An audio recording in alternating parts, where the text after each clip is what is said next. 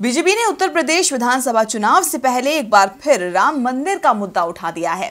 Party ने कहा है कि अगर आगामी यूपी चुनाव में बीजेपी पूर्ण बहुमत से जीतती है तो अयोध्या में भव्य राम मंदिर का निर्माण किया जाएगा।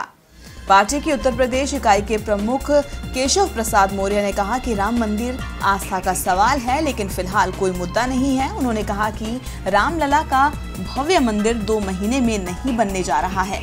इसका निर्माण चुनाव के बाद किया जाएगा, जब बीजेपी पूर्ण बहुमत के साथ सत्ता में आएगी। इस दौरान उन्होंने अखिलेश यादव पर भी निशाना साधा। उन्होंने कहा कि उत्तर प्रदेश के मुख्यमंत्री न तो पिछड़ा वर्ग के साथ है और न ही दलितों के साथ। मौर्य ने कहा, वह सिर्फ़ विश्वासघात करते हैं। अखिलेश के बारे में मौर्य का यह बयान तब आया है जब इलाहाबाद हाई कोर्ट ने उत्तर प्रदेश सरकार को यह सुनिश्चित करने को कहा है कि 17 अन्य पिछड़ा वर्ग समूहों से जुड़े लोगों को नया जाति प्रमाण पत्र नहीं जारी किया जाए। समाजवादी पार्टी कांग्रेस गठबंधन के बारे में पूछे जाने पर मौर्य ने कहा, एसपी डूबता जहाज़ है और कांग्रेस का जहाज़ काफ़ी पहले डूब चुका है। अगर बहुजन समाजवादी पार्टी भी इसमें शामिल होती है, तब भी वह इसे बचाने में सक्षम नहीं होगी।